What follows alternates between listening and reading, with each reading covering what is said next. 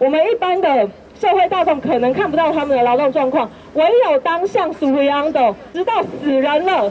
我们的政府才要出来面对境外聘雇渔工的事情，而且把它当做个案处理。台湾有可能会被欧盟，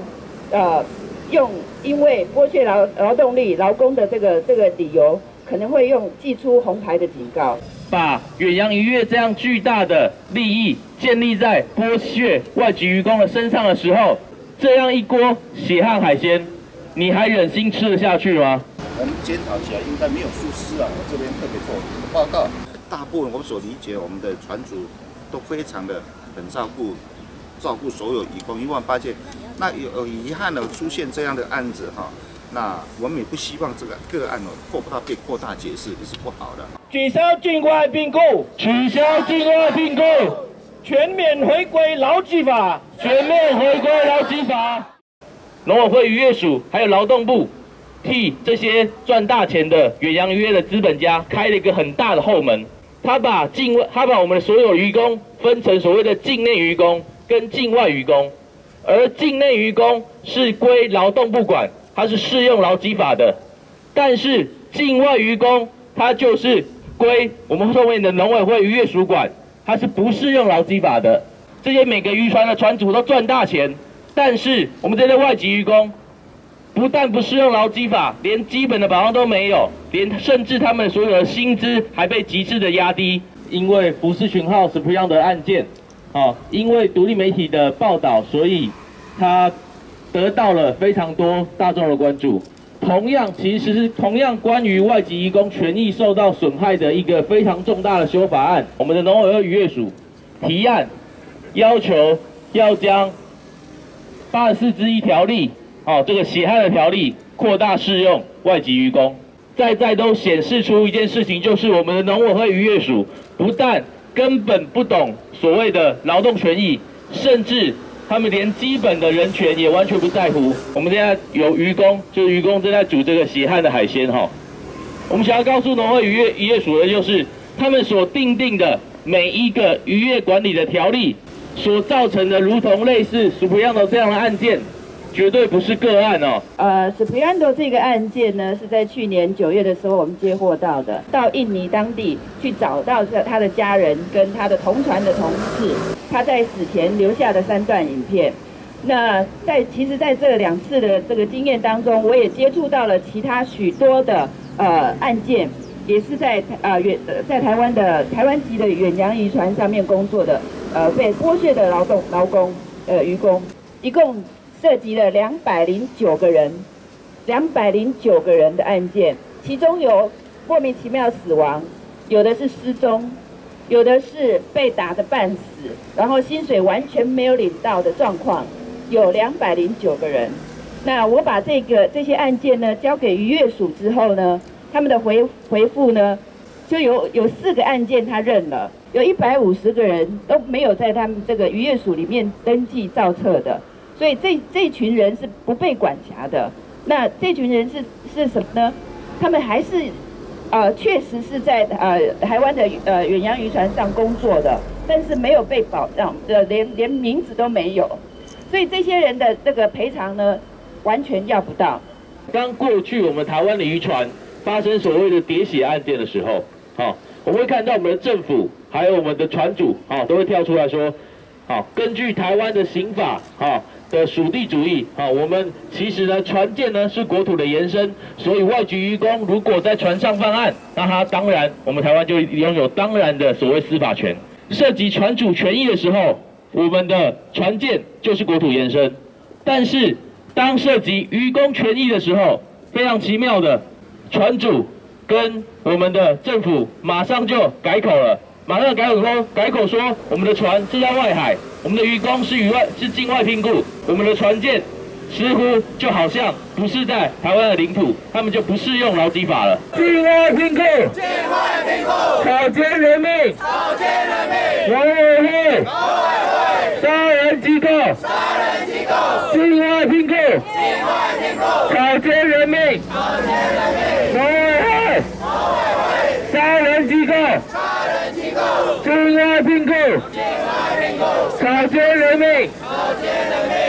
诉求第一个是我们要求要取消境外聘雇哈，而且所有的劳动条件必须要回归劳基法。我们坚决反对八十四之一扩大适用外籍渔工。好，这是我们第二个诉求。啊，我们境外雇佣、境外解雇的法律呢，我们所有相关的条件啊，我们今年已经通过两业三环，那一月明年一月二十号，我们就制度面来提升我们劳工的权利哈，我们这这一步会来做加强哈，那在一月二十号就会啊，特别对中介的规范管理哈，都会来提升哈，这是第一点哈。第二点，他是提到就反对这个劳基法八十四条之一扩大适用外籍。那这一个牵涉这一条是牵涉层面很广，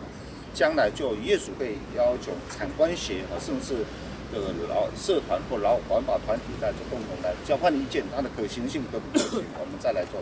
做进一步的研商啊。而第三个诉求是针对苏培扬的这样的案件啊，我们认为不能够让我们的农委会渔业署就是发发新闻稿啊，然后想办法把责任推卸掉。就这样蒙混过关，必须要追究农委会渔业署的行政疏失啊，而且必须严惩失职人员。吴世勤这个希望追究行政呃单位有没有疏失啊？哈啊，这一艘渔船是在八月二十六号通报，通报透过夜电台通报这个船员死亡，通报的是船员死亡。那因此我们接到的时候有一点惊吓了哈，那所以我们赶快勒令他进港哈，呃九月九号进港了以后，我们就通。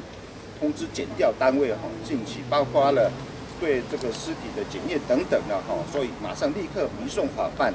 那我们对这个船主的船船长这样的疏失哈，没有及时通报船上的这个生病的这种情况哈，我们也感到不可解，认为是不对的哈。那因此我们第一时间就对这一艘渔船，